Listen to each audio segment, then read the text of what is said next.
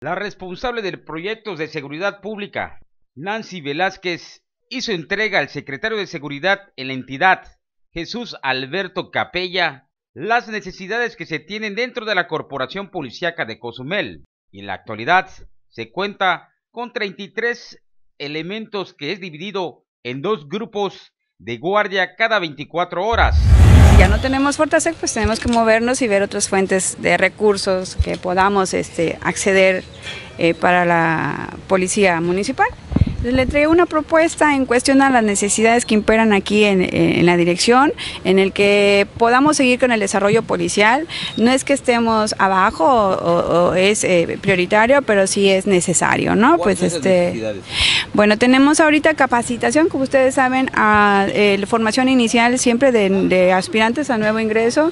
Tenemos para este año una meta de 40, pues esperemos eh, que, que, la podamos este, lograr.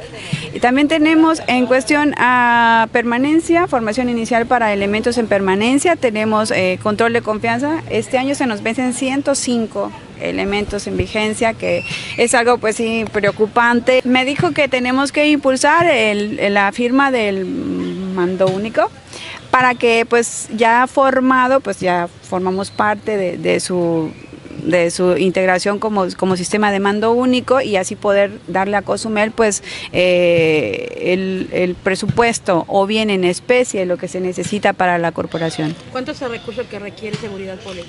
Bueno, yo me fui muy alto, pero lo que se logre es bueno, este, 10 millones 600. Ah, eh, lo que se perdió en Fortasec, ¿no? 233 elementos tenemos ahorita. ¿Cuánto tiene más de 50 años? Buena pregunta.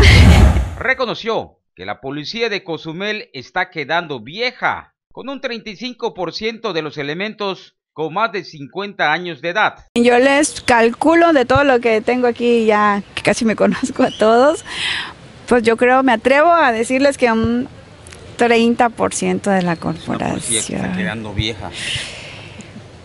Eh, sí, este, no es que esté vieja, no sean así, o sea, es de la experiencia, ¿no? Entonces, sí es cierto, tenemos que empezar a ver, eh, este, cambiarlos, ¿no? Eh, quizás en funciones administrativas.